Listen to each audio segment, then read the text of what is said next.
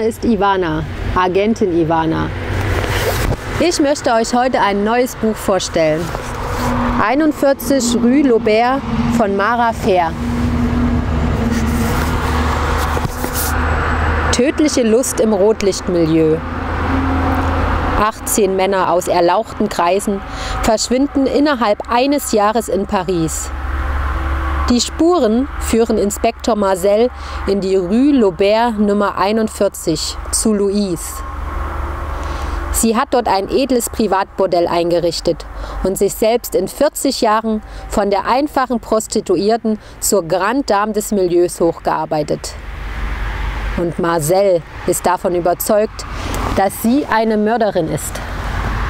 Ein gnadenloser Kampf um die Wahrheit beginnt.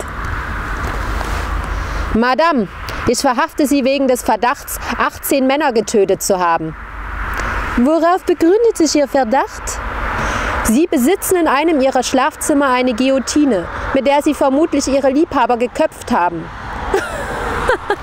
Machen Sie sich nicht lächerlich. Die Guillotine ist ein Sexspielzeug. Ist Ihnen so etwas noch nie vorgekommen?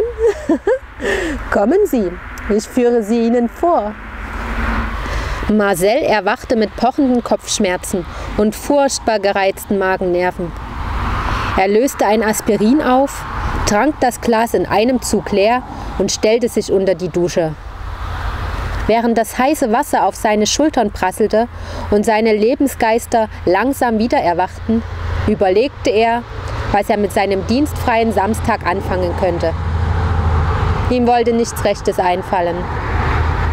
Gelangweilt beschloss er, sich zu Fuß auf den Weg in die Rue Loubert zu machen, um seinen Dienstwagen selbst abzuholen. Der Spaziergang würde ihm gut tun und helfen, den Alkohol aus seinen Poren und die Feuerwerke aus seinem Kopf zu treiben. Und wenn ihr mehr wissen wollt, so kauft euch das Buch.